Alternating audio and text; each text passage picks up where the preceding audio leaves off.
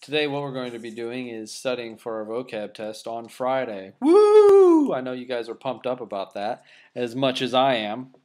Um, actually shooting this from home, so this is my beautiful home if anyone wants to see the background. But anyway, we're going to start studying here. So make sure you have your uh, vocab cards that you should have made in the past few nights, hopefully, and uh, we'll get studying. It shouldn't take too long. You can replay this video over and over again. First of all, says Hammurabi's Code. All right, take a minute, think about it. What is Hammurabi's Code? Your answer should be world's first code of laws made by Hammurabi. It's pretty simple.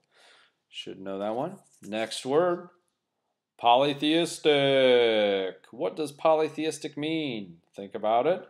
Take a second. Take a guess. Believing in many gods. Nice job. Hopefully you got that right. These aren't too bad. Ziggurat. That's ziggurat. Look at my face disappear.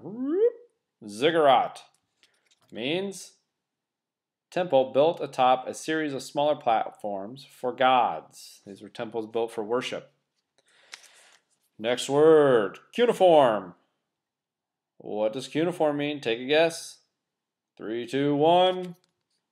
It's the first known writing system. All right.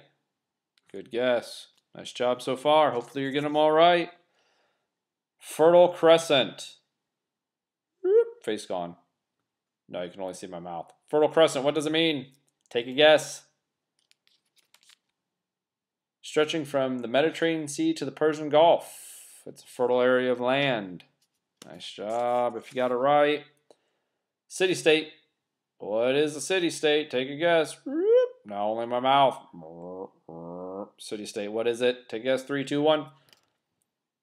Political unit made of a city and a surrounding land or and surrounding land. Hopefully you got that correct. Next one, Mesopotamia. What is Mesopotamia? We studied that not too long ago. You should know all of these. What is it? The land between two rivers. It's over in Iraq. Remember that. Silt. What is silt? We should know this from Egypt. My eyes. Silt. What is it? Three, two, one, guess. The fine soil carried and deposited on nearby lands, good for farming. Two left. Civilization. What is civilization? Take a guess. Three, two, one. Turn around. Advanced form of culture that developed in cities. You should know that. And the last one, Sumer. What is Sumer? Three, two, one. Sumer is a city, state in Mesopotamia. Hopefully you did well on those. Keep studying. Replay this as much as you need to till you get all these, all right? Good luck on the test on Friday.